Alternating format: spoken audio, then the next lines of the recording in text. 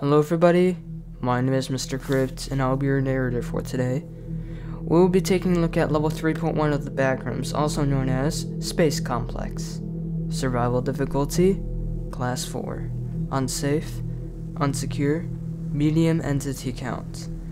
Level 3.1, also known as Space Complex, is a sublayer found within level 3.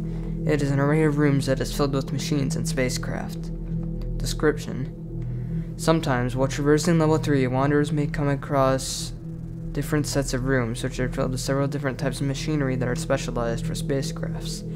They are connected by nothing but a handful of narrow corridors, which have been known to stretch for miles on end. Said occurrence happens due to the existence of what has been dubbed Level 3.1, a sublayer in Level 3. The sublayer looks very different from Level 3, the rooms being comprised of white walls, and floors which are made of clean, shiny, light gray tiles, a significant change from the industrial and gritty look of the baseline level 3. The roof is almost made out of concrete, with big industrial lights being the main source of illumination in the entirety of level 3.1, while some rooms are being contained neon lighting instead. All rooms are connected by long, narrow corridors, whose walls are filled with gas pipes and copper cables. These cables are functional and transmit energy like they normally would. Because of this, it is recommended that one looks out for any damaged or uninsulated cables, because they could potentially harm the wanderer. These narrow corridors will almost always lead to another room, which will either be a large, open area filled with lots of machinery and spacecraft, or a circular room which stretches deep below the ground level, not dismissed through to a silo, and houses a singular rocket with no specific model or manufacturer.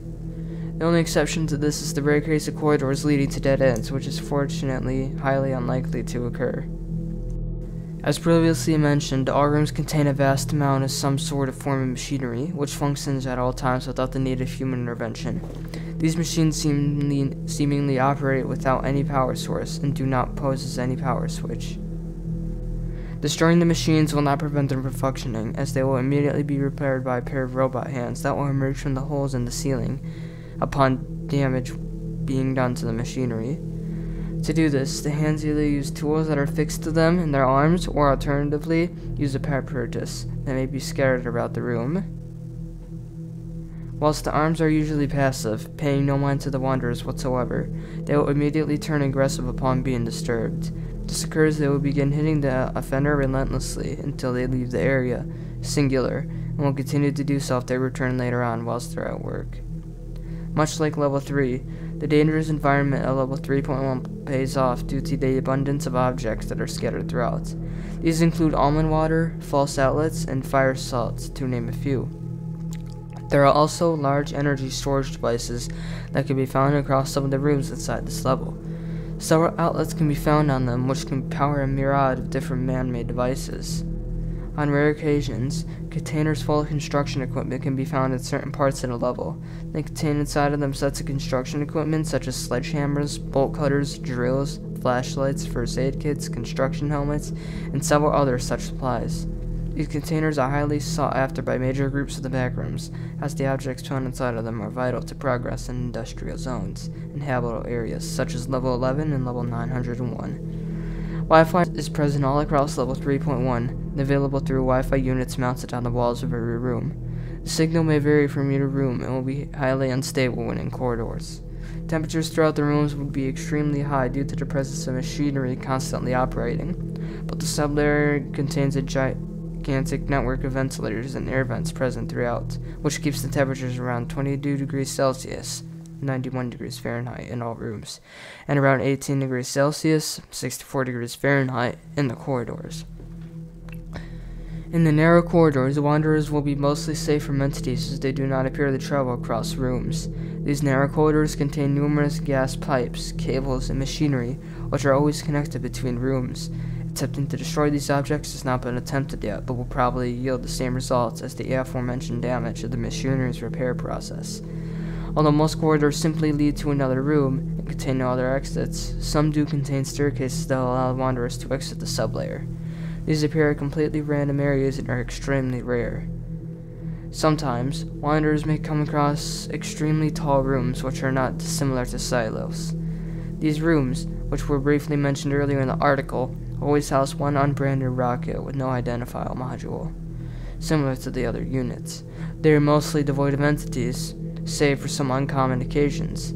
Thus far, it is not known that these rooms have a bottom, as the rockets seem to be suspended over an endless void by a few steel arms. Control panels can also be found in a separate, secured room within the silo. They could be theoretically be used to launch the rocket, but they are thankfully not known to be functioned. Completely inoperable and oftentimes in various states of disrepair. Other rooms which can be found, albeit not as common, are large central. Other rooms which can be found, albeit not as common, are large centrifuges, press conference rooms, office, and sleeping quarters. But there are other rooms which have been documented, with their scarcity has warranted them being omitted from the list. An extensive list of these rooms can be found in log underscore 3.1.txt, which can be found attached to this file. Most of these rooms contain a large amount of different hostile entities and are rarely ever devoid of entities. Normally, no valuable objects can be found across the less common rooms. Occasionally, however, some may contain bottles of almond water stored in containers, oftentimes together with the aforementioned construction equipment. Entities. Much like level 3, level 3.1 contains a lot of dangerous entities. Although some appear in larger concentrations than others, some of the most common entities present all across the sublayer are bursters, stretchers, clumps, skin stealers, dullers, and hounds. The open areas are where most entities present within level 3.1 can be found, usually in groups which are scattered across all the rooms.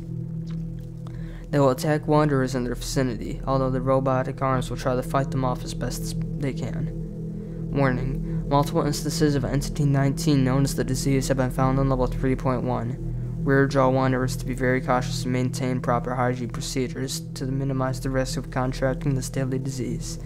Thank you. Bases, outposts, and communities. MEG, Base Gamma, B. Small outposts formed by volunteers from Base Gamma consists of around 31 operatives, will provide shelter, supplies, and medical care to wanderers, and they will route them to safer levels if possible. BNTG Space Complex Outpost Storage facility for the BNTG consists of 18 permanent members. Open to trading will offer reasonable prices for most objects present in level 3.1. Entrances and exits. Entrances. To enter level 3.1, travel and find a yellow staircase in level 3. At the end of the staircase, there will be a door that allows one to enter level 3.1. Be aware that by doing so, you will unable to go back, as there will not be open the door anymore. Exits. To exit level 3.1, one must find the aforementioned staircase present in some corridors, which, although rare, are the safest exits. Alternatively, one may no-clip at random on walls in present rooms. Wanderers will always end up in level 4 upon exiting.